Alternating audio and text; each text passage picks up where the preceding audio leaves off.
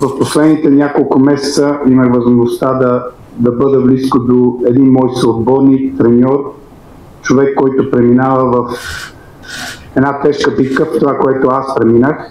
Затова на матча, петата минута, номер пети, един от големите номер пети, а, номера номер пети в българския футбол, Петър Купчев, който също се бори с тази коварна болест последните няколко месеца. Ще му бъде отдадена петата минута ще бъде за него. Матч ще бъде спрям. Аплодисменти една минута, така както направиха всички фенове 19-та минута специална за мен.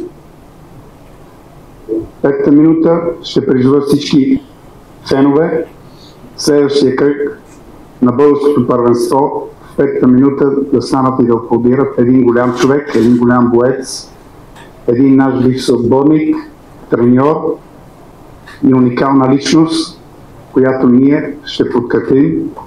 Ще му бъде изготвена фанелка. Петю Хупчев трябваше да участва на матча, но за съжаление няма да може да участва. Повече около това какво и как ще оставя на Петю Хупчев, който когато му дойде времето ще излезе пред вас и ще говори за това, с което преминава.